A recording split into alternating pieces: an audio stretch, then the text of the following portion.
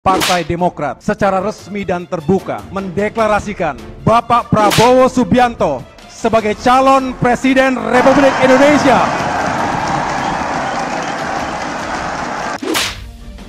Tentu saja PDI Perjuangan menghormati keputusan tersebut. Saya menduga ini sebagai sebuah strategi untuk mengepung PDIP. Ngepung kita? Enggak lah, nggak menakutkan itu buat kita. Nggak menakutkan itu buat kita. Gini loh, Ganjar, baru satu orang saya buat sudah menakutkan buat kalian. Bagaimana satu partai? Bagaimana satu partai? Demokrat dukung Prabowo. Ini bukti koalisi gemuk bisa tumbang. PDIP dipengaruhi untuk memberikan golden tiketnya, menyerahkan golden tiketnya kepada pencapresan misalnya dalam konteks ini Pak Prabowo. Enggak lah, nggak menakutkan itu buat kita. Nggak menakutkan itu buat kita. Gini loh, bahwa kalau kemudian kalian berencana mengepung PD Perjuangan karena ketakutan-ketakutan seperti yang saya sampaikan tadi, ya itu tidak akan menakutkan kita juga. Ya itu tidak akan menakutkan kita juga. Kita berbicara tentang koalisi Indonesia Maju, melanjutkan program-program Pak Jokowi ternyata pada akhirnya masing-masing berharap bahwa kader PD Perjuangan itu mengendorse mereka kan. Kita adalah bagian dari tim pemerintahan Bapak Insinyur Haji Joko Widodo. Kelihatannya setelah ini jatahnya Pak Prabowo. Bahwa kemudian bagaimana kita melihat Jokowi? Ya kemarin dia ke Prabowo, habis itu sama Ganjar tiga hari berturut-turut nggak berhenti berhenti. Ya memang Jokowi begitu. Kalau di endorse Jokowi lalu naik ini ya nggak apa-apa juga. Artinya Kalau- bahwa kemudian kalau memang kalau kehadiran ada- Jokowi itu memperkuat Prabowo, ya nggak masalah. Lalu kalau kemudian dia tidak mengendorse yang lain misalnya juga tidak masalah. Tapi kalau kemudian ada yang kegeeran, kegeeran, ya nggak bisa juga kita larang gitu loh. buat PDI Perjuangan sendiri hal ini sama sekali tidak ada pengaruh. Kenapa tidak ada pengaruh? Karena kita sudah terkonsolidasi dengan begitu baik dan kemudian sudah mempunyai banyak pengalaman. Artinya kita sudah buktikan dua kali kita mampu mengalahkan Prabowo. Dan yang ketiga ini bukanlah hal yang sulit, bukanlah hal yang sulit, bukanlah hal yang sulit. Saudara Susilo Bambang Yudhoyono bersama dengan Ketua Umum Demokrat Agus Harimurti Yudhoyono menemui Ketua Umum Gerindra sekaligus Baca Pres Prabowo Subianto di Hambalang, Jawa Barat. Menerima secara resmi pernyataan dukungan dari Partai Demokrat untuk Pak Prabowo Demokrat! Prabowo! Prabowo! Seperti yang saya sampaikan tadi, kita takut. Enggak, ya itu tidak akan menakutkan kita juga. Ya itu tidak akan menakutkan kita juga. Enggak sesuatu yang menurut saya, ya mereka berupaya mengepung sih boleh-boleh saja ya. Tapi apa kemudian itu mampu membuat kita mundur? Enggak lah.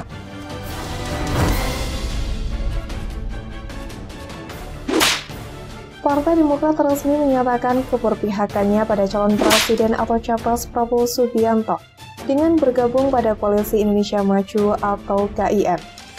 Bergabungnya Demokrat menjadikan Prabowo didukung empat partai parlemen menjadi koalisi terbesar dibanding pesaingnya.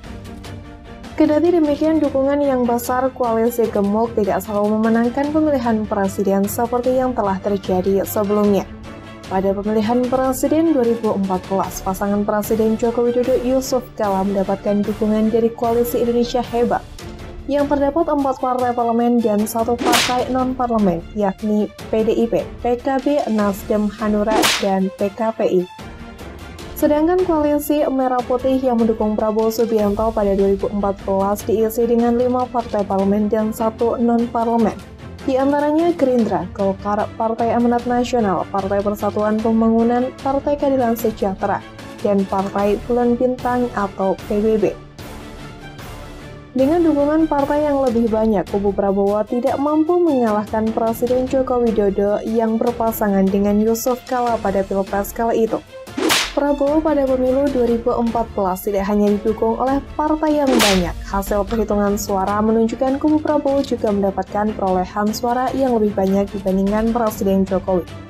Data saat itu menunjukkan koalisi Prabowo mampu memenangkan hasil suara dan kursi pemilu 2014. Koalisi Prabowo memenangkan Pileg 2014 dengan memperoleh total sekitar 61,1 juta suara, sedangkan Presiden Jokowi hanya memenangkan 51,1 juta suara.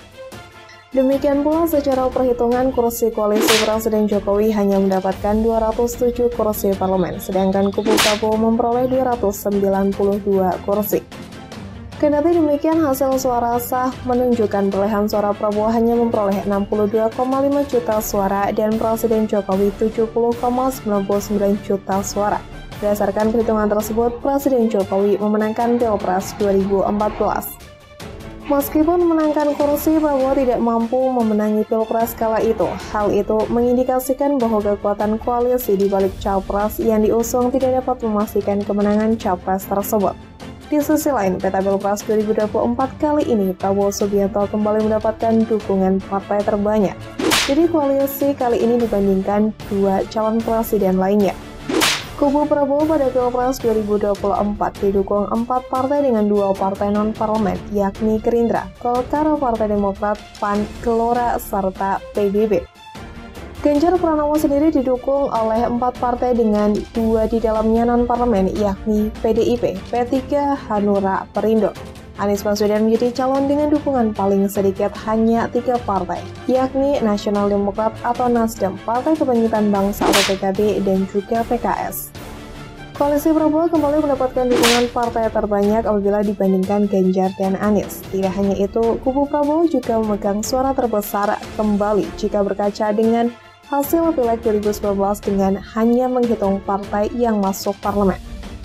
Dengan perhitungan tersebut, kubu Prabowo akan mendapatkan dukungan suara sebesar 55,2 juta. Koalisi Anies Baswedan berada di koalisi kedua dengan 37,7 juta. Koalisi Ganjar berada di posisi terakhir dengan 33,3 juta.